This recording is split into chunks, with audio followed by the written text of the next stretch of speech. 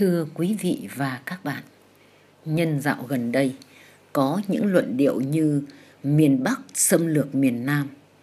Cuộc chiến tranh Việt-Mỹ được đánh màu thành cuộc nội chiến giữa hai miền để giúp các bạn trẻ có cái nhìn khách quan, tự mình phân tích, đánh giá để rút ra kết luận. Uyên Uyên Việt Nam xin gửi đến quý vị và các bạn chùm bài viết của những người dân miền Nam Việt Nam về cuộc kháng chiến chống Pháp, chống Mỹ cứu nước trên quê hương họ, về tấm lòng của nhân dân miền Nam đối với cách mạng, với Hồ Chủ tịch. Mở đầu cho chùm bài viết là một bài viết của một nông dân thuộc xã Nhân Nghĩa, huyện Phong Điền, tỉnh Cần Thơ. Bài viết có tựa đề Làng tôi với bác Hồ Tác giả Ái dân. Nhớ lại, từ sau cách mạng tháng 8 năm 1945 Làng tôi lương giáo đồng lòng theo cách mạng.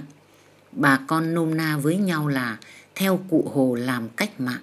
Bởi hồi ấy, dân làng chưa hiểu nhiều về đảng, mà chỉ biết đi theo tiếng gọi của cụ Hồ. Ví như ngày mùng 6 tháng 3 năm 1946, Bác Hồ đại diện chính phủ ta ký hiệp định sơ bộ 14 tháng 9 năm 1946 với Pháp. Biết tin bọn xấu xuyên tạc rằng cụ Hồ thua nên mới điều đình với Tây. Dân nhân nghĩa phản lại luận điệu ấy bằng một câu chắc nịch, đó là sự thông thái của cụ Hồ biết rõ sự ngờ vực ấy, ngày mùng 10 tháng 3 năm 1946, trong thư gửi đồng bào Nam Bộ, người giải thích rõ rằng việc điều đình giữa chính phủ Pháp và chính phủ Việt Nam đã đi đến kết quả đầu tiên, hai bên đình chiến ngay để mở đường cho những cuộc đàm phán chính thức sau này. Đối với Việt Nam ta, sự ký kết đó có một điều hay là nước Pháp thừa nhận nước Việt Nam là nước tự chủ. Ấy là nhờ sự đấu tranh anh dũng của tất cả đồng bào toàn quốc, nhất là đồng bào Nam Bộ và Nam Trung Bộ và hết thảy anh em chiến sĩ trong khắp các mặt trận trong 8 tháng này. Chúng ta cần giữ gìn từng giọt máu của đồng bào. Chi bộ tổ chức học hội, vừa học vừa hội nghị cho đảng viên và anh em nòng cốt trong các đoàn thể của xã, trong đó có bài nói chuyện của bác Hồ với đồng bào cả nước. Cả đời tôi chỉ có một mục đích là phấn đấu cho quyền lợi của Tổ quốc và quyền lợi của nhân dân. Những khi tôi phải ẩn nấp nơi núi non hoặc ra vào trốn tù tội, sông pha nơi hiểm nghèo là vì mục đích đó. Đến lúc nhờ quốc dân đoàn kết giành được chính quyền, ủy thác tôi gánh vác việc chính phủ, tôi lo lắng đêm ngày, nhẫn nhục cũng vì mục đích đó.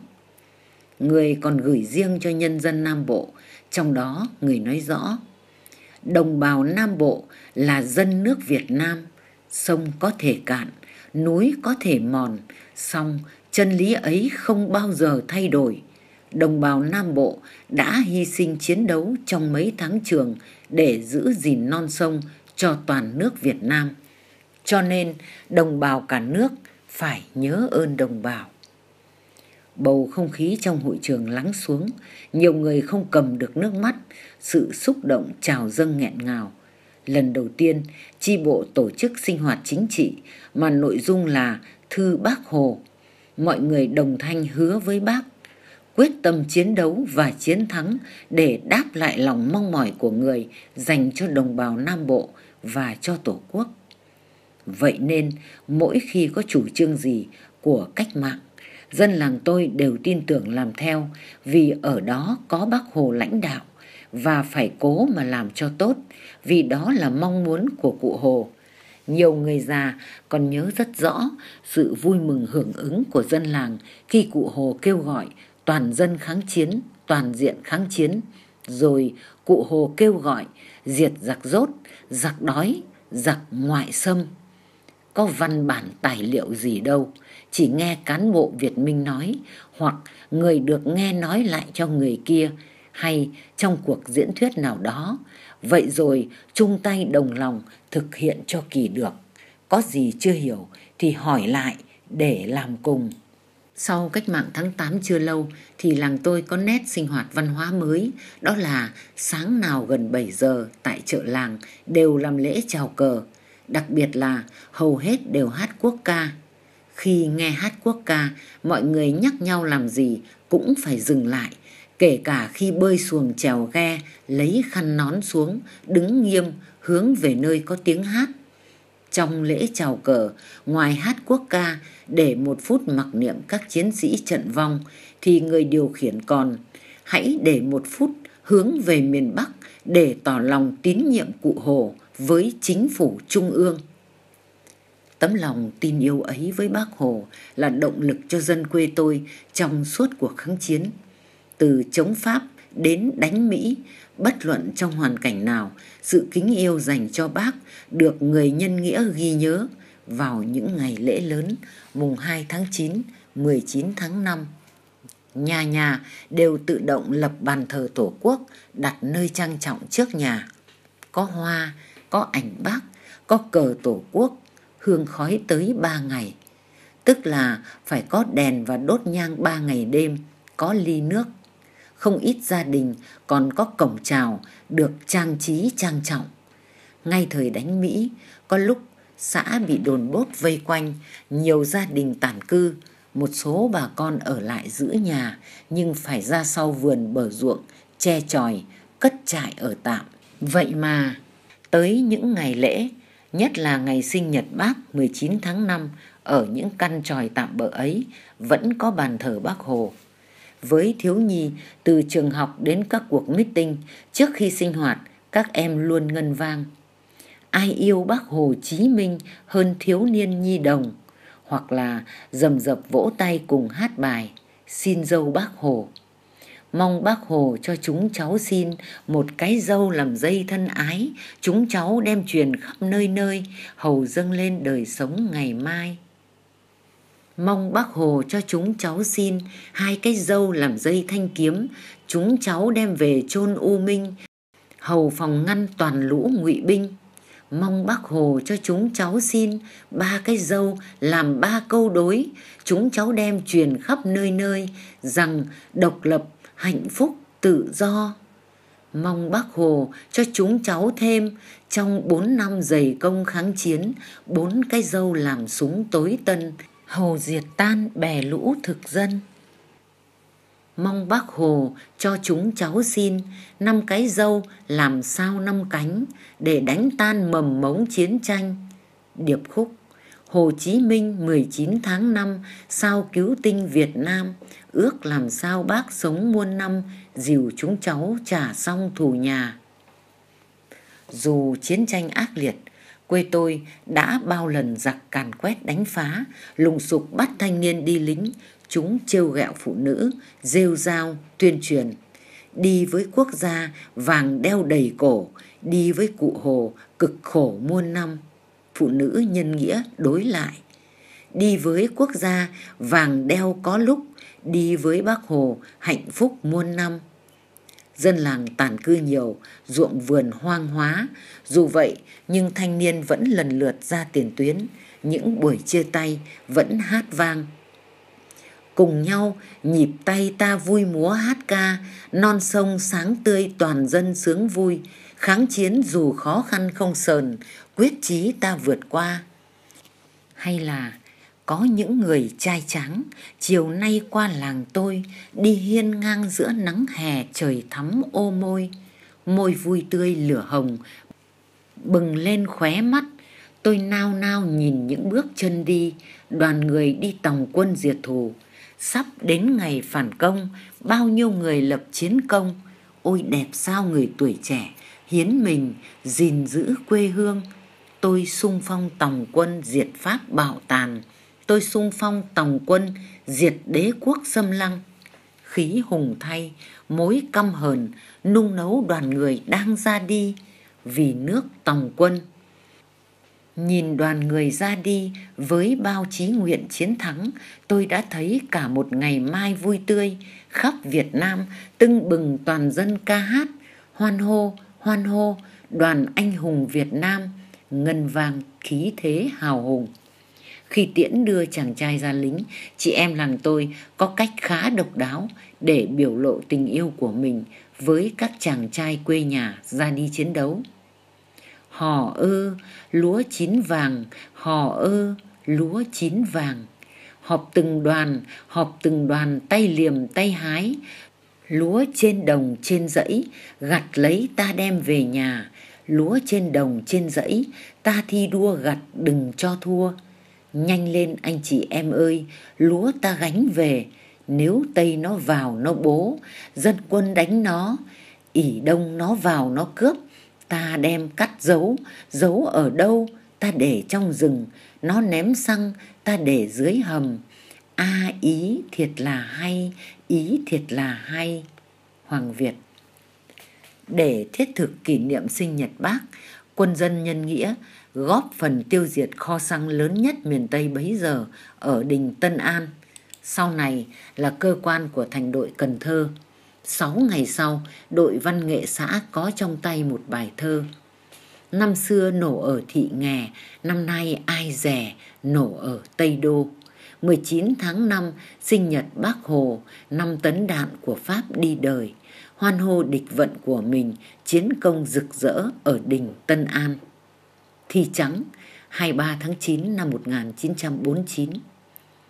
Sau 30 tháng 4 1975, việc làng việc nước, nhất là đời sống riêng tư vì chiến tranh đã kéo chúng ta vào cuộc. Giờ có hòa bình yên ổn, mọi người đều có cái riêng cần được bù đắp. Tuy nhiên mọi sự còn ngổn ngang bởi khi đó còn bao nhiêu vướng bận, bộn bề không chỉ riêng cho chính chúng ta mà bao đồng đội đồng chí. Tôi bâng khuâng mất mấy ngày đêm không yên giấc thì có thư không có phong bì. Ngày mai mùng 2 tháng 9 chú đến nhà tôi ghi tên thím 10. Thì ra từ mấy năm trước thím 10 một cán bộ nữ về hưu đã nhiều lần tổ chức lễ dỗ bác Hồ vào mùng 2 tháng 9. Bà con xóm làng, cán bộ ban ngành xã ấp cùng một số thân quen nơi xa tụ về. Buổi lễ trân trọng trang nghiêm. Bà Mười đốt nhang cung kính trước hình ảnh người mà dưng dưng. Thưa bác, chúng con ở trong này. Khi bác mất vì đường xa, vì chiến tranh chúng con không về thọ tang được cho cha. Nay con cháu trong làng nhân nghĩa tụ hội về đây để nhớ ơn người. Chúng tôi vô cùng xúc động.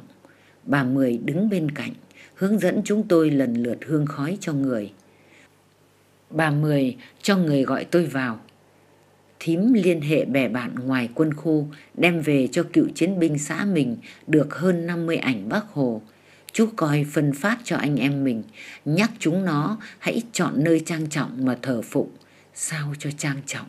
Nếu lập bàn thờ riêng cho cụ thì hay lắm. Kể từ năm đó, năm nào bà Mười cũng tổ chức lễ dỗ cho bác, biết chúng tôi mừng vì có được ảnh bác. Những năm sau người dự đông hơn, nhất là có cả học sinh trường làng và mỗi năm bà lại đem về vài chục tấm ảnh bác nghĩa cử cao đẹp của bà Hồng làm lay động tấm lòng người lính cụ Hồ. Kết hợp với phong trào học tập làm theo gương đạo đức bác Hồ, huyện ủy Phong Điền cho chủ trương cựu chiến binh huyện Phong Điền, thành phố Cần Thơ phát động trong toàn huyện tạo nên phong trào rước ảnh bác Hồ về mỗi gia đình.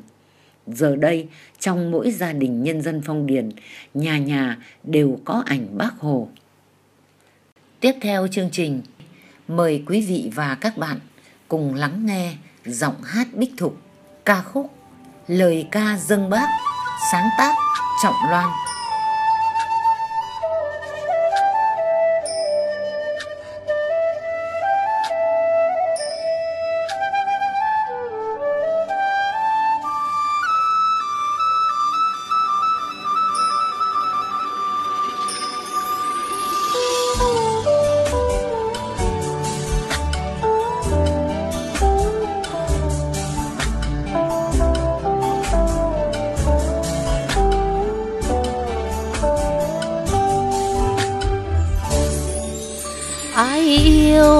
Miền Nam như tấm lòng của bác. Có mối tình nào mà thủy chung mà son sắt? Như tấm lòng của bác nhớ tới đồng bào miền Nam.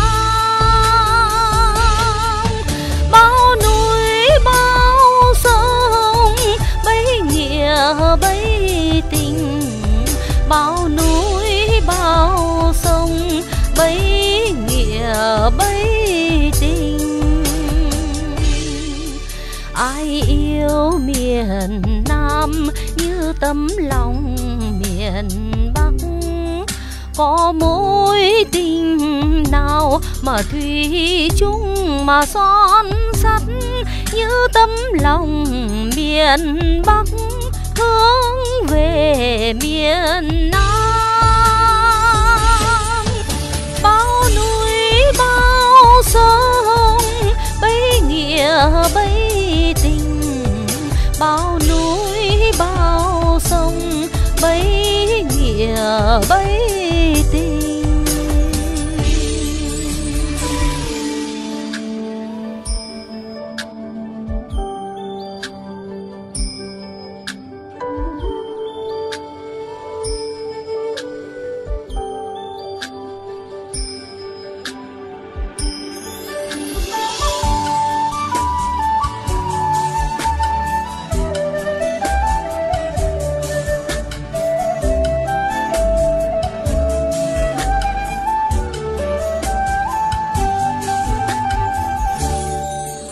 trong tim miền Nam, in bóng hình miền Bắc.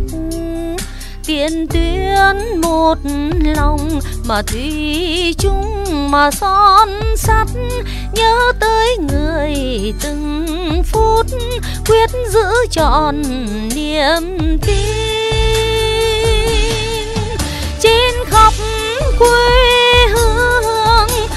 trận lấy lưng trên khắp quê hương, thắng trận lấy lưng vang lên từ miền Nam, vang lên từ miền Bắc tiền tuyến thanh đồng và hậu phương mà lũy thép. Theo tiếng người dục bước tới thắng lợi vẻ vang. Thống nhất non sông mới thỏa tâm lòng. Thống nhất non sông mới thỏa